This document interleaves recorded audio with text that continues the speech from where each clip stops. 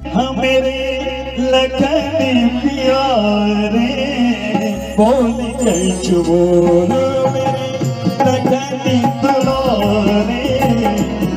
जरा देर ठहरो तमन्ना यही है। अभी हमने जी भर के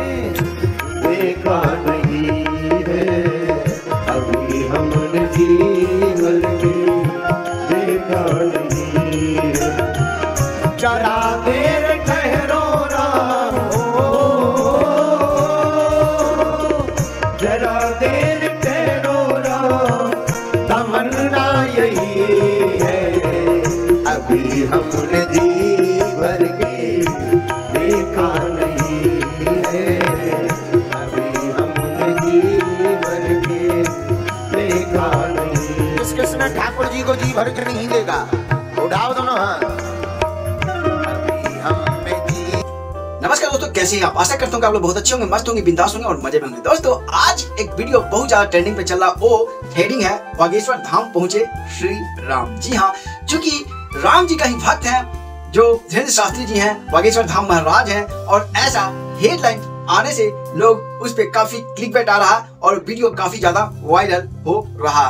तो दोस्तों, कई लोग को तो समझ में ऐसा आ जाता कि प्रभु श्री राम खुद ऊपर से आए हैं और आप बागेश्वर धाम में प्रकट हुए हैं और उनसे मिलने आए हैं। ऐसा कई लोग उसे क्लिक करके देखना चाहते हैं और ये चीज़ मिल भी जाता। है लेकिन फ्रेंड्स जो यहाँ पे आए हैं, वो उनका नाम जो है कुछ और है और वो चूँकि राम के रोल में जो सीरियल बना था रामायण, उसमें राम का रोल वो निभाए थे और वही हमारे श्री कृष्ण, हमारे जो धीरेन्द्र शास्त्री हैं उनसे मिलने आए थे, उनसे कुछ अपना प्रॉब्लम सुलझाने आए थे, कुछ अपना कष्ट लेकर के आए थे श्री धीरेन्द्र शास्त्री जी के पास और उन्हीं को देखते हुए, उसी को देखते हुए लोगों ने हेडिंग बना दिया कि श्री राम पहुँचे बागेश्वर धाम। और ये वीडियो काफ़ी ज़्यादा ट्रेंडिंग पे चल रहा, काफ़ी ज़्यादा वायरल चल रहा। तो ये कहीं तक हकीकत भी है, हकीकत है कि श्री राम पहुँचे बागेश्वर धाम। लेकिन फ्रेंड्स श्री राम जो ओरिजिनल है, वो नहीं पहुँचे। ये पहुँचे जो सीरियल बना था रामायण, उसमें जो राम का रोल निभाए थे,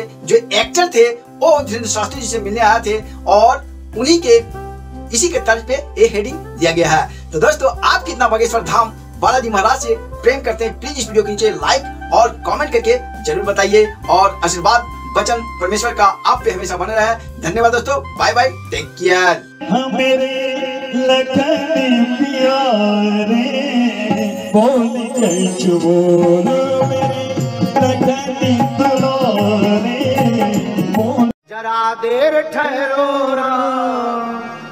तमन्ना यही है।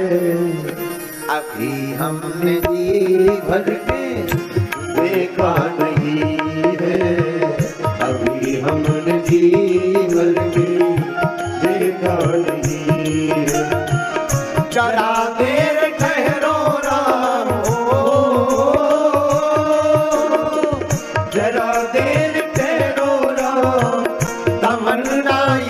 जी भर के अभी हमने जी भर के देखा ठाकुर जी को जी भर के नहीं देखा? उठाओ दोनों हाथ